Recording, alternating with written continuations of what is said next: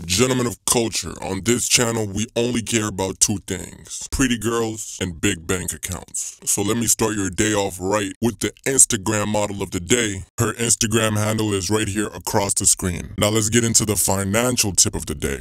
We all need to unlearn the concept of having one job that pays you the bare minimum for a whole day's work. It's actually a scam. The reason why most people can't get financially free is because they've been brainwashed and they cannot escape this mindset. Once you're able to escape this mindset, both mentally and physically, you will start earning a lot more money because you'll understand that money can come from any direction. Whether you want to be rich or not, limiting yourself to one stream of income is a disservice to your own self. Thanks for watching. Make sure you like for the algorithm and make sure you subscribe for the culture.